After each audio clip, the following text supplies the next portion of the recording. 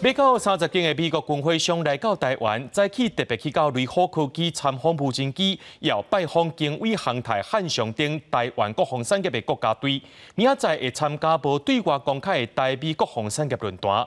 另外，美国总统拜登接受《时代》杂志的专访，伊是搁再强调无排除动用武力协防台湾。咱的外交部也表示感谢。游览车车五载起开往台中的厂区是台湾的无人机大厂瑞福科技，近三十人对游览车落车，正是来台湾的美国军火商参访行程也引发注意。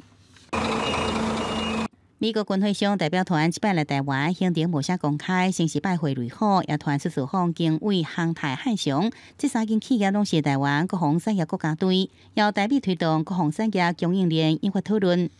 你们雷虎这边的话，是主要的项目是在在无人机 AI 无人机那边。交代说，不能透露，不能透露。哦。今日台美国防产业论坛车六登场，无对外来公开，包含美国军火商代表团、美大商会会长韩鲁平，将美国太平洋陆战队司令罗德拢会出席开幕式。前国防部副部长李伟陈英空会发表专题演讲。大厂为希望加外商务合作机会，台美军事交流增加，以令中共加大侵略情形。你们所有离间区不存在，注意你的用语。这是中国海洋海域，哪里有权，暂时还有航行。两架中共空军 A 型飞弹护卫舰，初时出现伫宜兰外海大约三十一海里，想要走入去二十四海里连接的所在。海军甲海巡舰艇对外的介护实施恐怖驱离，对中共无放弃武力反台。美国总统拜登接受时代杂志专访，佮再讲到，无拜都动用武力来协防台湾。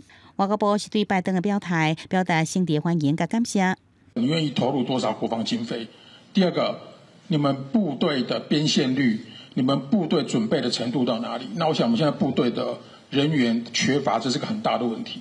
虽然拜登五拜表示，美方会出兵保护台湾，或者认为有两大关键，包含南方外罪、自我防卫的决心，甲国军表现的比例，拢必须爱不时来面对。记者综合报道。